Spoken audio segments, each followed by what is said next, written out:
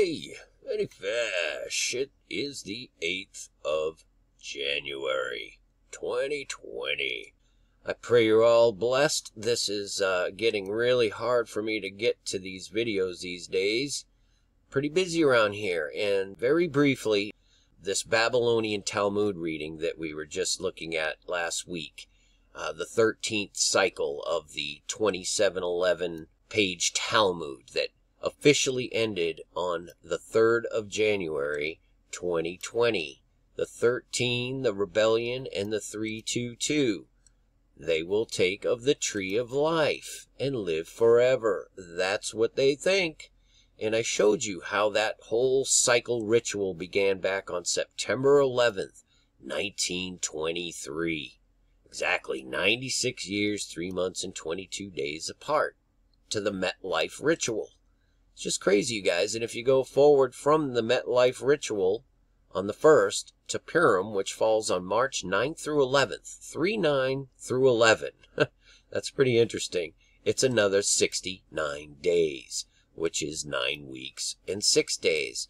And it's my firm belief that the next 9 11 will involve Psalm 69. You need to go read that. Because don't forget, Psalm 23 was read on the day of 9 11. Psalm 46 was read by Obama on 9 11 2011.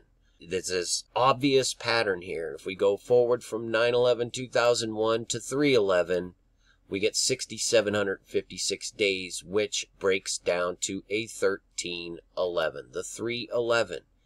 And it has to do with Purim and Esther and the book of Esther which takes place in Shushan, which is Persia, which is Iran. And there's much more to this. I just have to work on that a little more. What I wanted to share with you here today, though, is this craziness between Trump and Iran. They're each threatening, one threatening 35 targets, one threatening 52.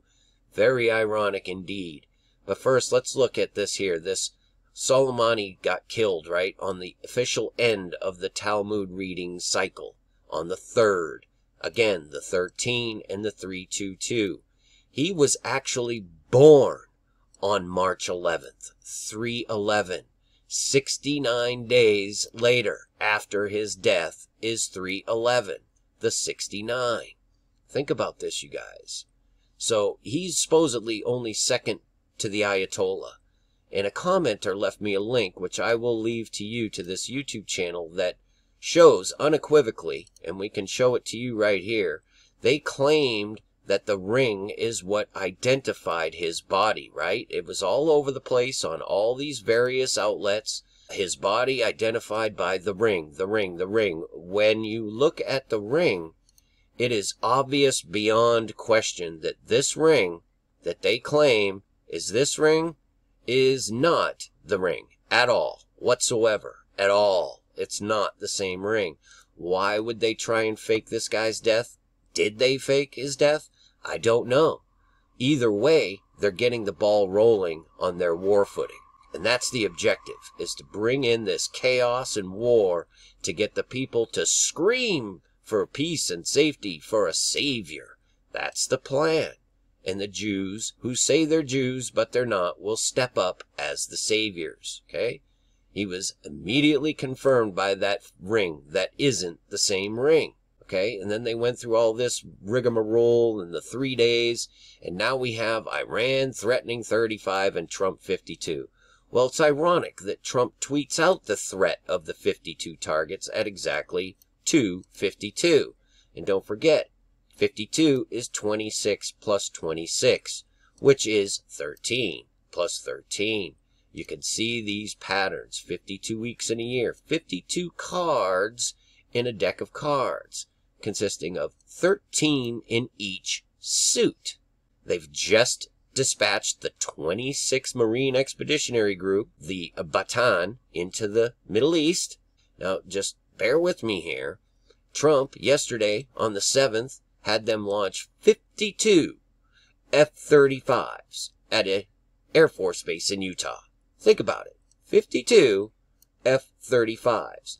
And that Air Force base just happens to be home of 78 F-35s. And he also sent six more B 52s. 78 happens to be the exact number of cards in a tarot deck, which is 52 plus 26. Do you see where I'm going with this? And Trump, in his first year in office, went to the 9 11 Memorial Tower of Voices for the Flight 93 Memorial. Think about this when he was on The World in 2017, Rothschild's Economist cover. I just want you to get this into your mind because this is crazy. From that day at the Tower of Voices or Babel, which is what is being built right now. You understand?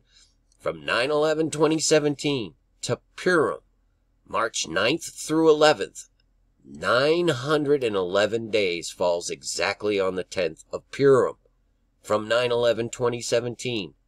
Think about that. 911 days, which is also 130 weeks and a day, the 311, even down to the minutes, the 311. USA in numerology is 311. And he's on the front cover, sitting on the American flag like it's a toilet seat, holding the Rothschild regalia, right? That's what he's doing. The Synagogue of Satan. The Tarot deck and its 78 cards. The U.S. Air Force Base in Utah holds 78 F-35s. 78. Think about this. Iran threatens 35, Trump 52. 52 plus 35 is 87, the exact opposite of 78. 78 is 53 plus 25. It's a perfect mirror. It's a ritual. And if you subtract the 35 from 52, it's 17, which Esther is the 17th book of the Bible. There's a lot to this, you guys. But I have to show you this because it's just incredibly coincidental, let's say. And Trump says that the 52 number is from the Iranian hostage crisis. Well, those hostages were taken on November 4th, 1979, okay? They were held hostage until January 20th, 1981. Exactly 444 days. Trump releases his statement on the assassination of the general, and it's exactly 4 minutes and 11 seconds long. Reagan was elected on 11-4. The hostages were taken on 11-4. His statement is 4-11. I mean, you just can't get over this stuff, you guys. Trump is a Washington type Christian, which is Masonic mystery religion. Brother Washington, all Freemasons meet as equals, and we have an opportunity to create a nation in the very essence of Masonic morality. Oh, come on, Brother Washington. Everybody lies occasionally, surely, especially politicians. Not me. Not even so much as an alternative fact. The foundation stone of our new nation built on all those principles that we hold dear. You know, I wonder if other presidents after me will also be Freemasons.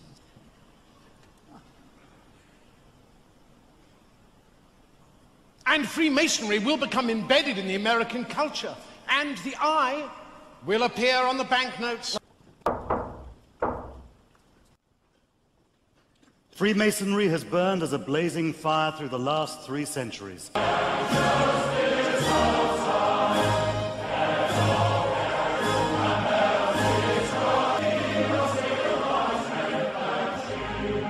As permanent master of these three lodges, even more proud of our ancient institution.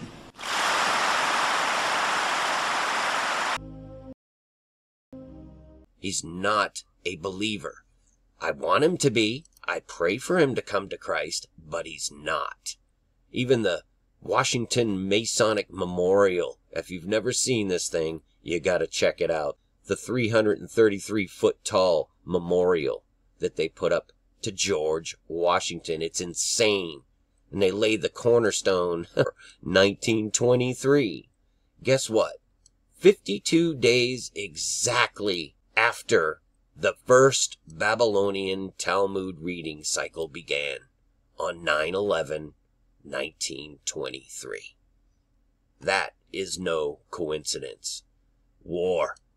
That's what you're going to see. What is war? It's a child's card game. The first game a child learns in cards is war. Think about it. And that terrorism card is on the table. This is all part of this cabal plan. They're all members of this club, and I hope you're not. So, I had to share this stuff with you. I hope you can glean something out of this, and it edifies you, and blesses you, and I pray that you know Jesus Christ, because he is the only truth, the only way, the only life. God bless y'all. Peace and grace to you. Many fish. Finally, my brethren, be strong in the Lord, and in the power of his might. Put on the whole armour of God, that ye may be able to stand against the wiles of the devil. For we wrestle not against flesh and blood, but against principalities, against powers, against the rulers of the darkness of this world, against spiritual wickedness in high places. Wherefore take unto you the whole armour of God,